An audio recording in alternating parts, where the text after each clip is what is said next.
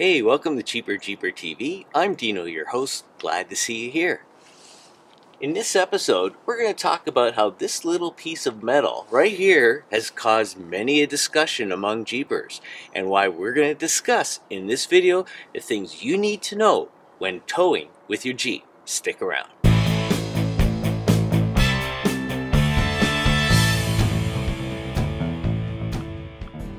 Now, when it comes to knowing what you need to know when towing with your Jeep, it isn't that simple.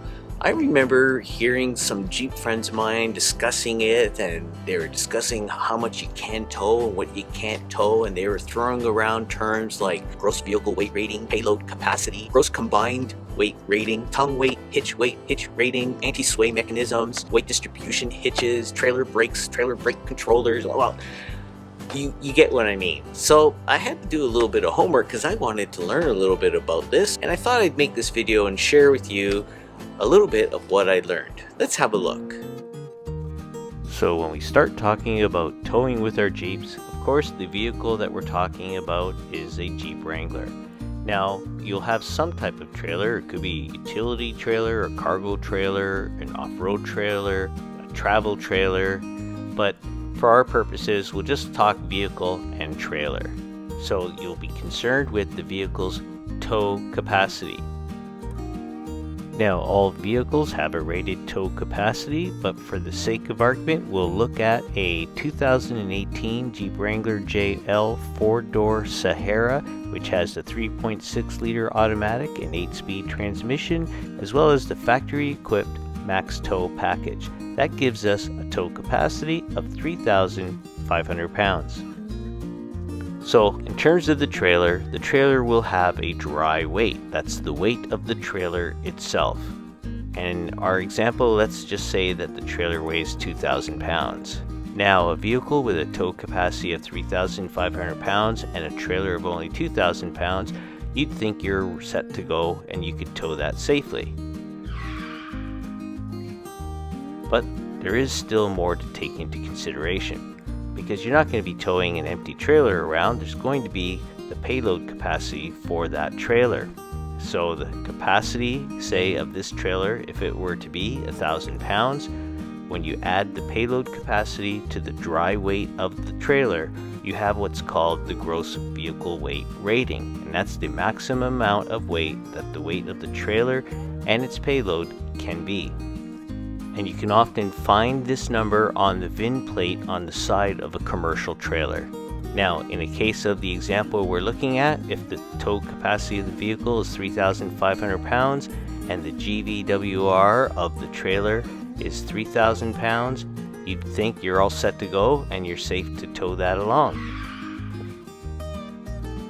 Well, there is still more that we have to take into consideration. For example, the vehicle itself has a curb weight. A vehicle's curb weight will be dependent upon the model of the vehicle and options for which it is equipped. For the sake of argument, let's just say that the vehicle in question has a curb weight of 4,000 pounds. The next thing that we want to take into consideration for the vehicle, other than curb weight, is its payload capacity. You could find the payload capacity that's specific for your vehicle on the driver's side door jamb on the label. Now the things that make up your payload are the weight of your passengers as well as any kind of gear or equipment which you bring along. Keep in mind of course any mods that you make to your vehicle such as steel bumpers, skid plates, winches, larger tires and wheels all impact the amount of payload that you can carry with your Jeep.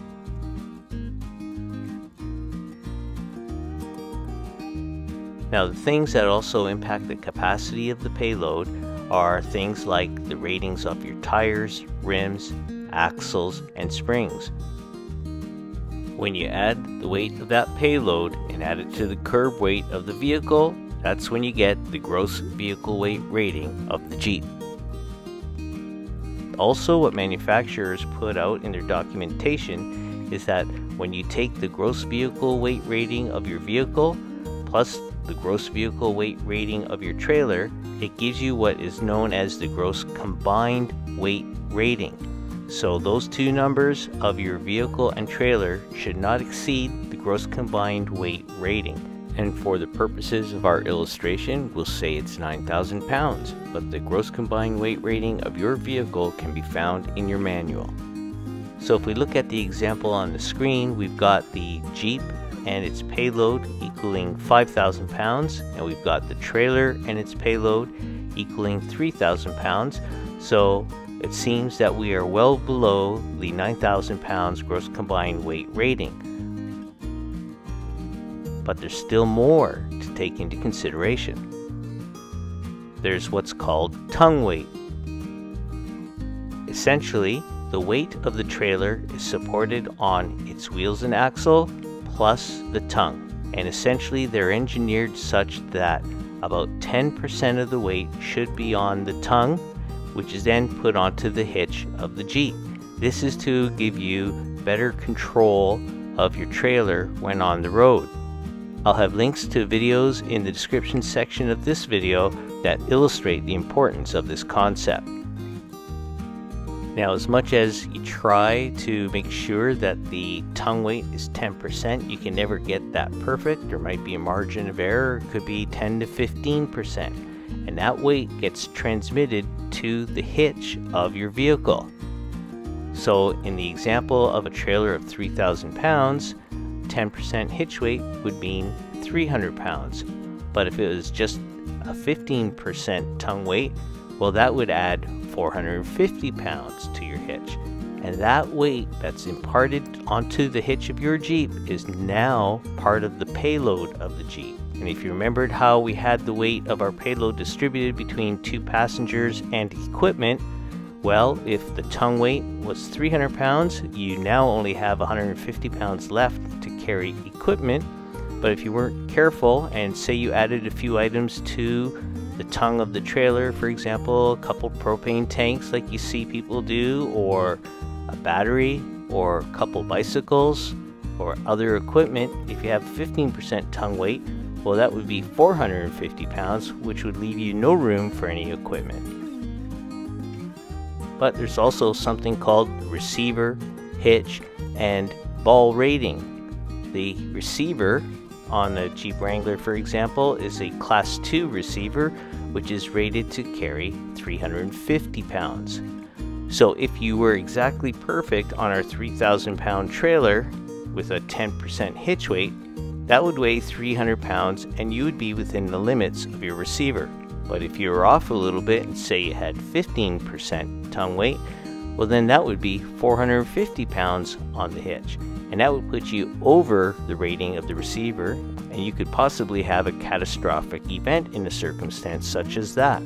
The other thing that you have to take into consideration is that the excessive weight at the back of the Jeep on the hitch will cause the back of your Jeep to sag. When this occurs, you would end up having loss of steering control as well as reduced braking capability. And braking when you're towing all this weight is certainly something very important, and that's why in the Mopar handbook, for example, they mention that if you are towing a trailer greater than a thousand pounds, that you should have trailer brakes. And each province and state has their own regulations where generally they start roughly at 1,500 pounds, and some regulations are closer to 2,000 pounds.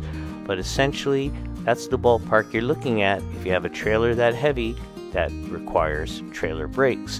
And if you have trailer brakes, then you need in your Jeep a trailer brake controller. Now, if you did get the factory tow package, the wiring exists for which you can connect a trailer brake controller. And I'm going to produce a video on the installation of a trailer brake controller in my Jeep and if you don't want to miss that, make sure that you hit the subscribe button and the alert bell so you don't miss that video when it's released.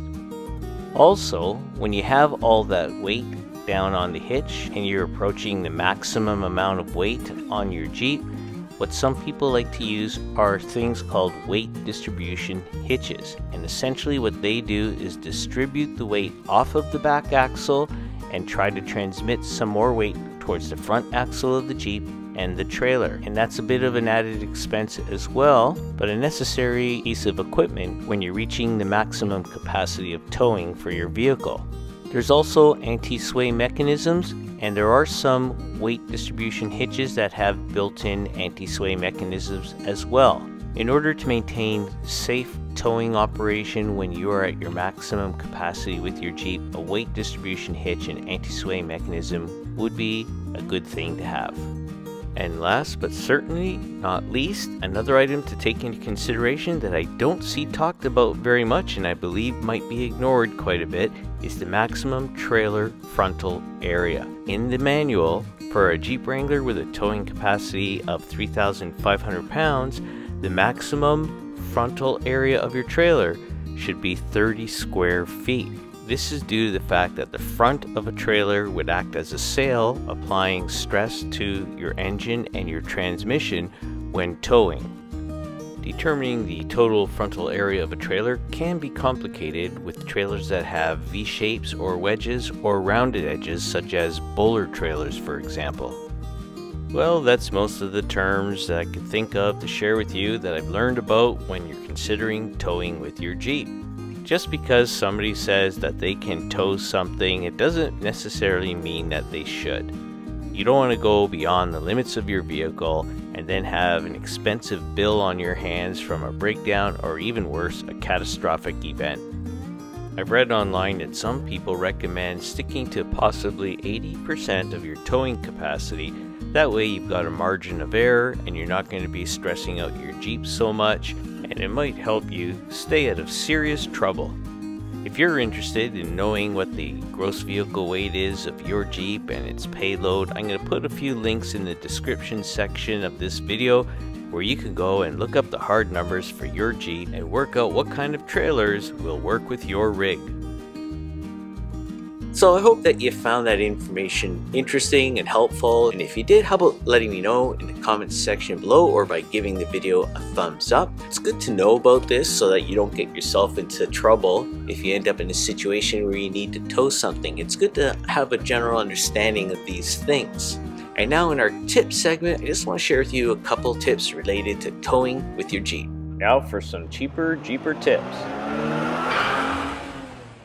Well, the first tip I'd like to share with you in this episode is to make sure you spray some rust proofing inside the receiver for your hitch so that rust doesn't build up. And the other tip that I want to share with you is about this Facebook group called Wrangler RVing. It's where other fellow Jeepers such as yourself are towing travel trailers and you can see in that Facebook group all the different types of travel trailers and overland trailers that they tow and I thought I would let you know about that group in case you'd be interested in checking it out. I'll have a link to it in the description section of the video.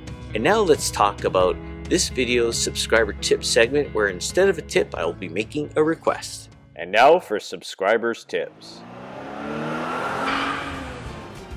The request that I'd like to make to you, the subscribers or viewers of this channel, is if you are towing anything with your Jeep, please feel free to send to me a video or a image of what you're towing because I'd like to make a video about it.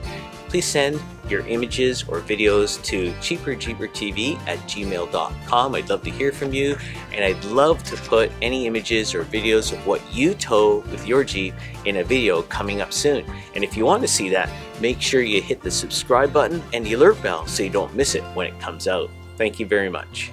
Hey, that's it for this week's episode of Cheaper Jeeper TV. I hope that you found it informative, and if you did, how about giving the video a thumbs up?